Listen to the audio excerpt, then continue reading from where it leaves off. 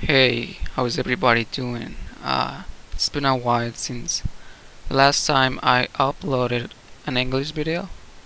Uh, my microphone got broken, but I got a new one, so hopefully there'll be uh, more videos in the future. And hopefully more tutorials. So I've been working a lot with libgdx and recently with Node.js and the Socket.io module. So to begin with, I created a chat room program. I'm using libgdx and Java for the client side and JavaScript for the server side, which is what works with Node.js. So it's pretty cool for networking in games and hopefully in the future I'll be able to implement uh, multiplayer games. So Socket.io allows uh, real-time communication so it suits uh, my needs for now because my next approach is gonna be to create a multiplayer game. So to begin with I need to run the server. I'm a local host so just uh, here's my project a libgdx project and I have a folder for the server. So I just need to open my shell here and call node server.js and it says uh, the server is running at port 3000 I have configured the client to connect to that port. If I'm not mistaken right here. On the local host of course so I just run. I made it really simple. I didn't add any details but too much details so it's just this uh, login form which just asks for the name. Let me run this a couple of times.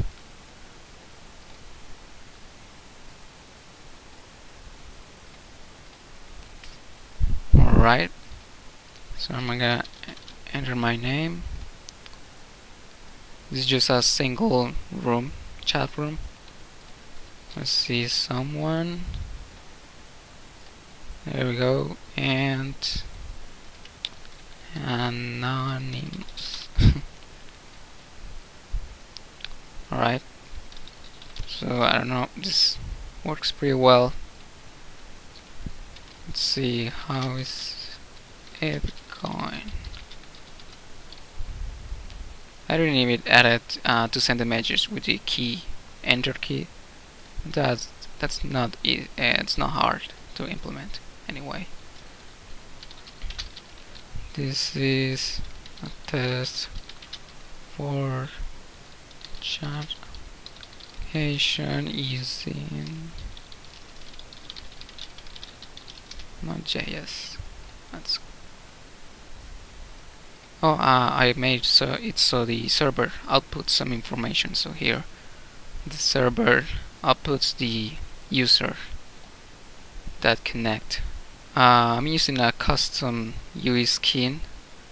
Uh, it's not mine, so I'll leave this, uh, the credits down below. Uh, yeah, I don't know. This is real simple. I think it works pretty well. It would be cool if I can implement more things. Probably, uh, perhaps a database and all that stuff but yeah that's for the future consideration. So if I close the window the other clients update its users list and the server outputs that the user disconnect so I close the socket there.